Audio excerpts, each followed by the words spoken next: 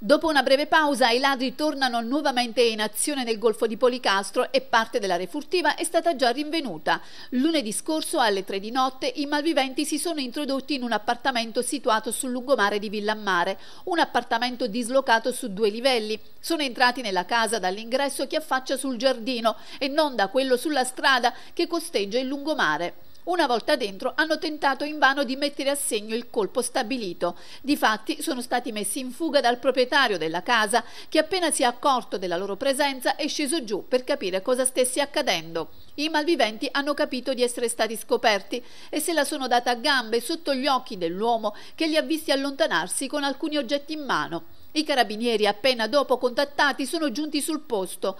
Durante i primi sopralluoghi hanno rinvenuto abbandonati lungo la strada alcuni piatti d'argento che erano riusciti a portare via dall'appartamento e che sono stati già consegnati al legittimo proprietario.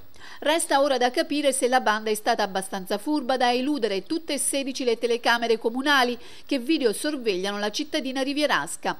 Carabinieri e vigili urbani sono già alle prese con la visione delle immagini registrate quella notte, mentre nessuna ripresa ci sarebbe a disposizione per il colpo messo a segno, sempre lunedì notte, presso il centro scommesse SNAI in corso Garibaldi a Sapri. Difatti la zona, nonostante centrale, non è videosorvegliata e l'impianto all'interno all'interno del centro scommesse è stato distrutto dai ladri prima che entrassero in azione.